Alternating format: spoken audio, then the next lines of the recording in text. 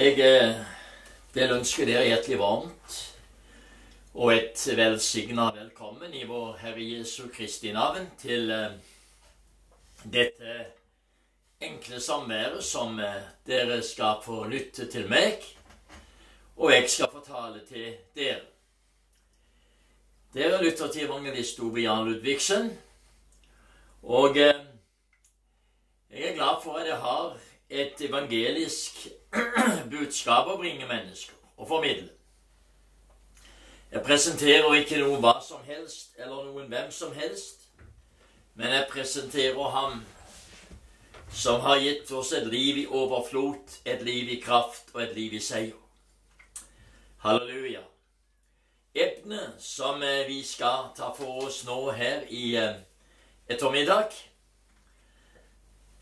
det er grunnvollen Jesus Kristus.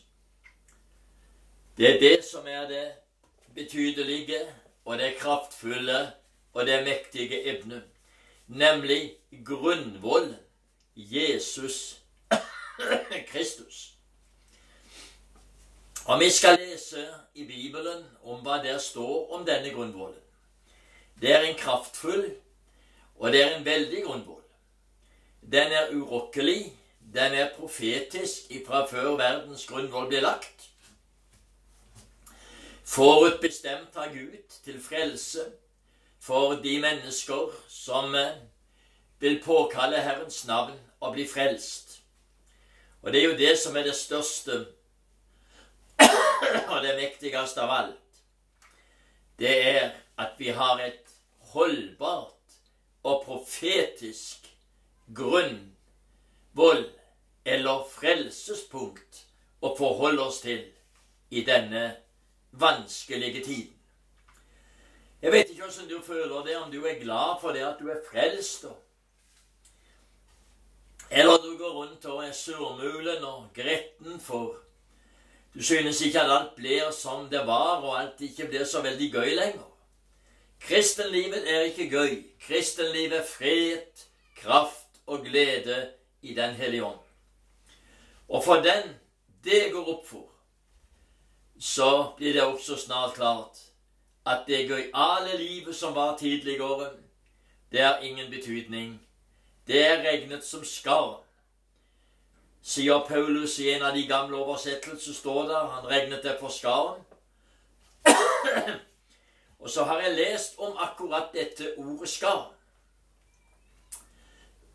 Ikke akkurat nå, men for tid tilbake. Jeg må si år tilbake. Jeg husker ikke hvor det var henne. Men jeg leste betydningen av det ordet 'skam' som var brukt. Og det er i alle fall i groveste tilfelle så betyr det ordet at Paulus han aktet alt annet for avføring imot det å vinne kunnskapen og livet, det evige, i Jesus Kristus. Så vi forstår at vi er inne i en veldig og dyrebar og kraftfull åpenbarelse av hva det er og vil være frelst. Takk og lov. Vi skal nå gå til Bibelen, og så skal vi se hva den sier. Mange sier det at ja, Bibelen, ja. Ja, det er da riktig noe gammelt rot og noe gammelt eventyr. Hadde det ikke vært for Bibelen, så hadde ikke du kunnet sitte og lytte til dette budskapet her, for da hadde ikke du vært til. Nei, for Bibelen sier at alt har blitt til ved ham, unntatt oss mennesker. Nei, inkludert i det alt som har blitt til ved ham, er også vi mennesker blitt til. Og det er det som er det dyrebare. At vi er skapt av Gud Halleluja. Og det kommer vi aldri ifra. Og Men det er dessverre en bibelsk profetisk sannhet at det er mennesker som Gud så i sin forviten før verdens grunnvoll ble lagt, som ville svare nei på hans frelseskall og forkaste det totalt. Og så forutså han også i sin forviten alle de som ville svare ja på hans frelseskall, Det så han før verdens grunnvoll ble lagt. Lagt. Ut ifra det så var altså Golgata-verket også planlagt og ferdig, men eh, kunne ikke iverksettes før den fastsatte tiden var inne for at soner for lammet skulle ofres. Soner lammet, det er Jesus Kristus. Og hvis du har noe bedre enn det å bo i meg, så vil jeg gjerne ha det, men det har du ikke. Alt utenom Jesus Kristus, det er vrøvl, det er rot, og det er en inkjaveta, som vi sier på lista. Det er med andre ord verdiløst. Og det som er verdiløst, er vi vel ikke interessert i. Men forhåpentligvis så er det dere som lytter nå her, interessert i det som er verdifullt. Og det mest verdifulle i denne verden å oppleve, det er frelsen i Jesus Kristus. Paulus har mektige og dyrebare budskap om dette her. Vi leser ifra første brev til Korint, og vi leser ifra det tredje kapitlet, og vi leser vers 10 og vers 11. Og så tar vi med oss vers 14 om ei stund. I vers 10 der står det etter den Guds nåde som er meg gitt, har jeg lagt grunnvoll som en vis byggmester, og en annen bygger videre på den.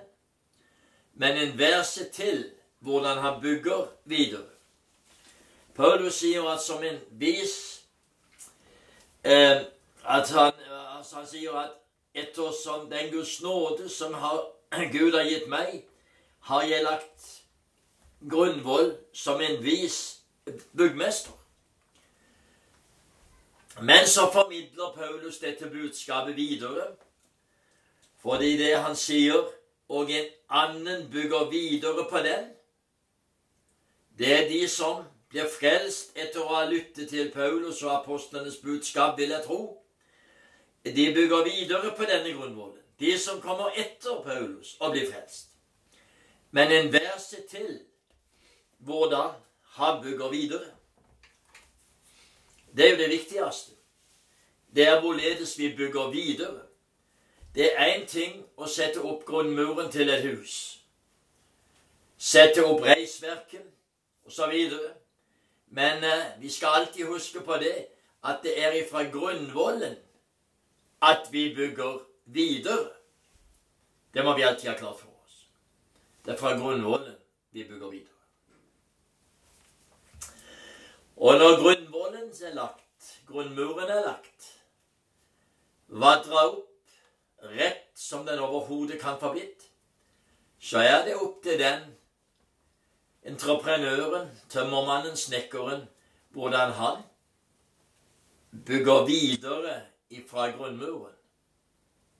Grunnmuren kan være riktig, men allikevel går det an for en slarven snekker å komme ut skjevt, slik at huset blir 50 cm lavere i den ene enden og 50 cm høyere i den andre.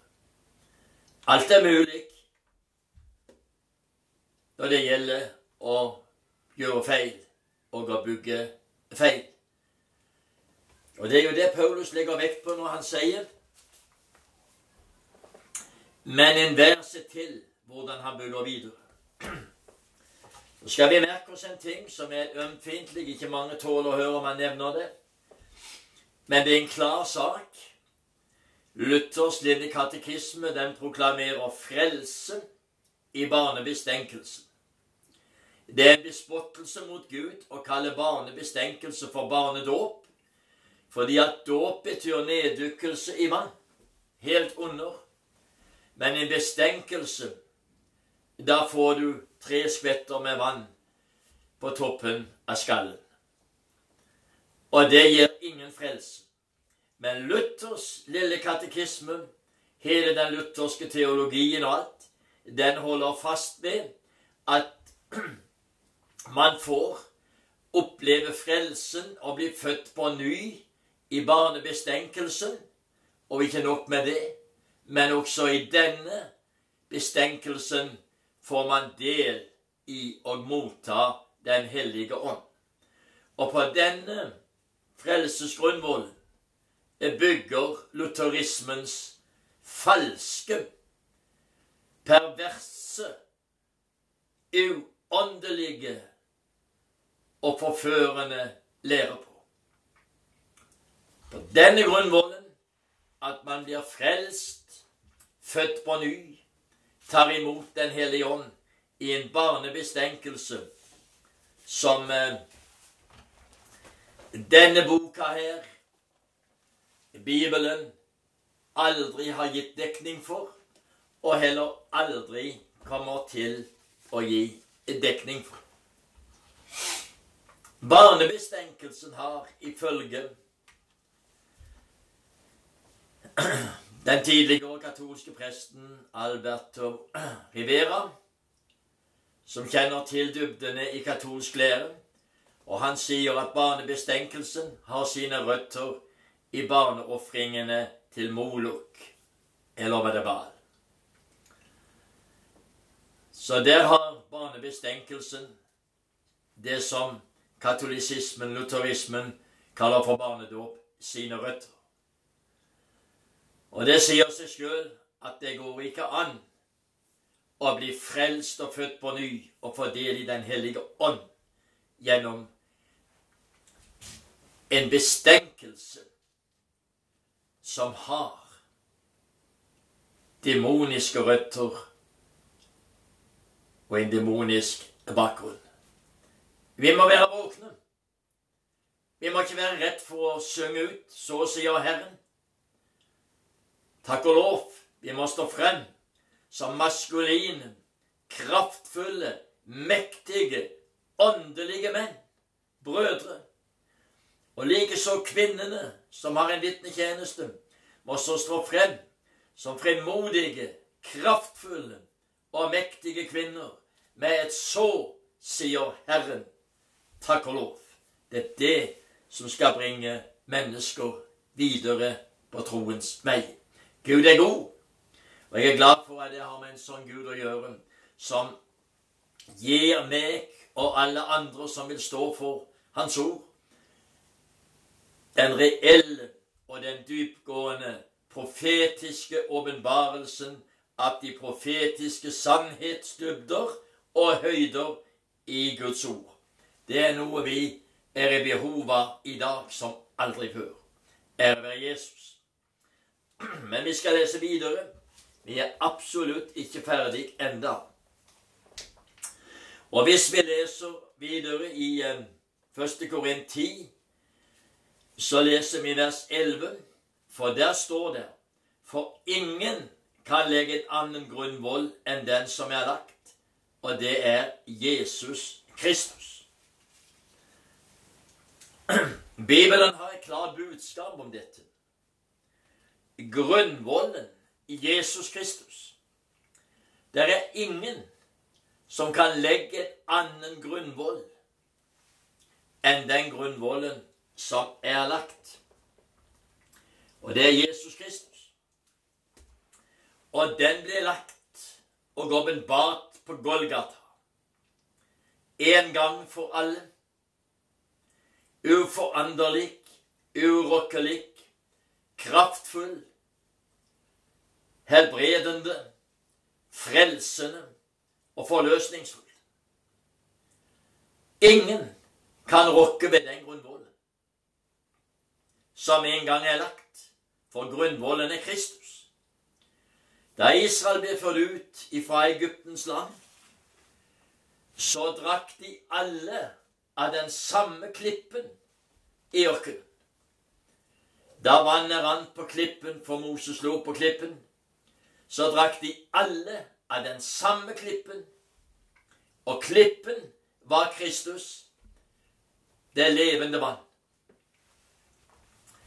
Og derfor vil jeg si til deg som bygger din frelse på en luthersk, katolsk barnebestenkelse som har sine røtter i det okkulte, i det demoniske. Begynn å se etter hva Guds ord sier.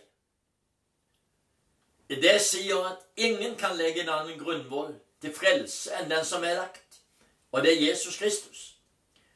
Og det finnes heller intet navn under himmelen ved hvilket noe mennesker kan bli frelst i eller døpt i, enn i navnet Jesus Kristus. Halleluja. Det er budskapet, ja, det er forløsningens budskap. Det er mange som ikke er så glad i å høre dette, for da kritiserer du, da er du dømmende, osv. Ingen som forkynner det profetiske budskapet, åpenbart ved Den hellige ånd, er verken fordømmende eller kritiske. Men vi analyserer sannhetsgestalten i alt det vrøvlet som florerer, som absolutt ikke stemmer med Bibelens budskap. Og da finner vi ut at det er bare én grunnvoll som holder, og det er Kristus. Jeg er ikke så veldig interessert i å predike budskapet bare som eh, en formidlende vits eller et eventyr. Men fordi at det er en personlig opplevelse av denne Herren Jesus Kristus. et personlig forhold til ham i det øyeblikket jeg ble født på ny, så har jeg fått del i disse åndelige dybder. Og jeg kan stå for disse åndelige dybder fordi at det er Guds ord åpenbart ved Den hellige ånd om at Kristus er den eneste grunnvollen og den samme klippen som han var i ørkenen for Israel som de drakk av. Den samme klippen er han også nå i avslutningens tidsalder og husholdning. Det er ingen andre enn ham. Og derfor er det så avgjørende viktig, kjære broder og kjære venn. For du er vel neppe noen broder eller søster så lenge du ikke er frelst og født på ny. Men derfor er det så absolutt avgjørende for dere kjære venner, kvinner og menn som ikke er frelst, å søke inn i Skriftens dybder, for der finner dere det opprinnelige, det som har sine røtter i det guddommelige, ifra før verdens grunnvoll ble lagt. Tenk så langt tilbake i tid. Stadfester Bibelen Guds ord. Så langt tilbake i tid stadfester Gud seg selv gjennom Kristus som Bibelens Gud, og fram til i dag, og vil gjøre det fram til bortrykkelsen, og vil gjøre det fram til slaget ved Hamageddon, og vil gjøre det helt til den frelste delen av menneskeheten går inn i den nye himmel og den nye jord. Gud stadfester seg selv som den faste klippen og grunnvollen som er lagt ifra før alle ting ble til. Og han vil alltid være denne klippen. Et, jeg må si jeg syns det er veldig interessant med Skriftens budskap. Og så leser vi vers 14. Nå tror du kanskje at jeg plukker ut en del nøkkelskriftsted eller bare sorterer ut. Men jeg gjør ikke det. det jeg tar noen sånn innimellom som er nøkkelord på den måten at det, der får jeg fram kjernepunktene. Og det er det jeg vil du skal få tak i. Kjernepunktene. Og da kan jeg bli mer konsentrert om budskapet på kortest mulig tid. Vers 14 står der følgende det er 1. Korin 3, fremdeles, og vers 14. Om det byggverk som en har reist, blir stående, da skal han få lønn. Altså om det byggverket som vi har reist i åndelig betydning Hvis det byggverket blir stående, så gir Bibelen oss et løfte om lønn. Og det er derfor at det er så viktig for deg og meg at vi bygger ikke på halm og strå, treverk og alskens rusk og rask som brenner opp, men at vi bygger på klippen Kristus. For det åndelige byggverket og det åndelige huset som er bygget på klippen Kristus, det er et hus som vil overleve. Det er et hus som vil bestå gjennom alle tidens stormer, gjennom forfølgelser, gjennom motsigelser, gjennom sykdommer og gjennom alt som en møter på vår trosvandring imot himmelen. Og det er det som er så dyrebart og godt, at dette budskapet, som Herren gir oss hver eneste dag, det bringer livsgløt, fred og velsignelse. Og grunnen til at det er slik, det er at vi frelste, vi har bygget vårt liv på klippen Kristus. Det er så dyrebart et ord for meg, det ordet som står her. For ingen kan legge en annen grunnvoll enn den som er lagt, og det er Jesus Kristus. Det er det som er så dyrebart. Og eh, her er mye som står her, og i vers 15 kan vi stikke innom. Brenner hans verk opp, da skal han miste lønnen. Men selv skal han bli frelst, men da som gjennom ild. Det er et ord som jeg har tenkt mange ganger på. Hva mener Bibelen med det? At for den som bygger på halm og strå osv. Eh, brenner hans verk opp, ja, da skal han miste lønnen, men bli frelst. Han skal bli frelst, men som, da som gjennom ild. Altså, tanken har slått meg. Denne frelsen som gjennom ild, kan det være mulig å måtte gå gjennom trengselen, den store trengsel, for de som har bygget på feil grunnvoll men ikke oppdager det før de er inne i den store trengsel. Jeg bare legger det fram som en tanke med et spørsmålstegn bak. Jeg sier ikke at det er slik. Men hvis det treffer deg, slik at det kan bli et kall til oppvekkelse, og du skjønner at budskapet om klippen Kristus er til deg, da må du bare ta det. Og så må du påkalle Herrens navn og bli frelst. Og eh, han snakker også om andre vers her. Om eh, noen, vers 12 og 13 for eksempel. Men om noen på denne grunnvoll bygger med gull, sølv, kostbare steiner eller med tre, høy og strå, da skal det verk enhver har utført, bli åpenbart. Alt skal åpenbares av det verket og de forskjellige materialer og metoder vi har bygget på vårt åndelige liv på. Det skal da bli åpenbart en dag, og dagen skal vise det, for den åpenbares med ild. Og da vil alt det som ikke holder innenfor Gud, det vil bli brent opp. Hvordan det verk er som hver enkelt har utført, det skal ilden prøve. Og det er det som alltid er så godt, at Herren, han bruker Helligåndens kraft og ildprøve i enhver livssituasjon når det gjelder deg og meg. Han gjør det, og det er det som er så underbart. Men eh, jeg må bare si det sånn som det er, og gjenta dette enda en gang. For ingen kan legge en annen grunnvoll enn den som er lagt. Det er Jesus Kristus.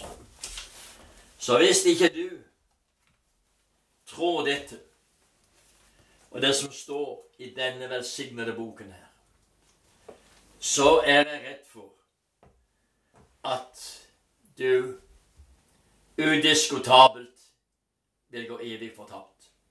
Bygg ikke din frelse på barnebestenkelse, som har sine røtter i Molok eller bal dyrkelse hvor de små barn ble ofret til Molok eller barn.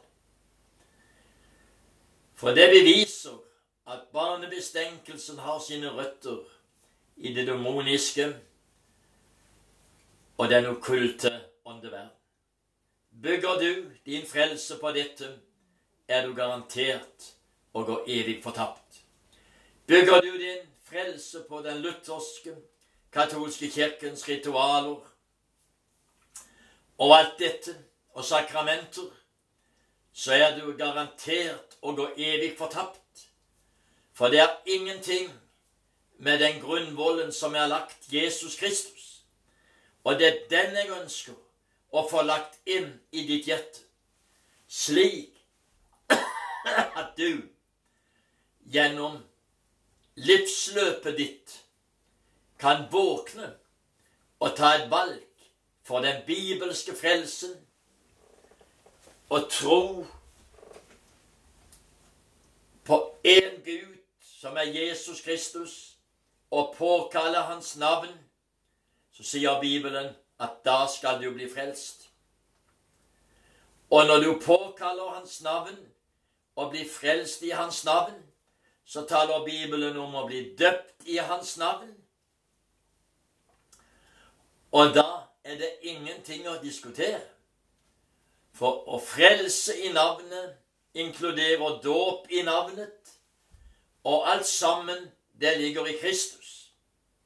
Og alt det som ligger i Kristus, som er forbeholdt og beregnet på Guds utvalgte, det ble lagt inn i de utvalgtes åndelige indre ifra før denne verdens grunnvoll ble lagt. Fikk du det med deg? Det er viktig i denne tiden. Vi lever i en åndskamp som er ubeskrivelig. Derfor er det livsviktig å få med seg disse kjerne åndelige sannhetene i Guds ord. Nå har du fått budskapet, og jeg håper at jeg har truffet mange med det skuddet jeg har fjort av.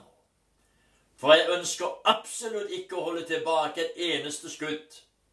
Jeg ønsker å fyre av det ene etter det andre med det åndelige maskingeværet som Herren har betrodd meg. Så ønsker jeg å fyre av hvert eneste skudd med den åndelige, metraljøse som Herren har betrodd oss alle i et fellesskap som er frelst og døpt i vann og ånd på et bibelsk grunnlag.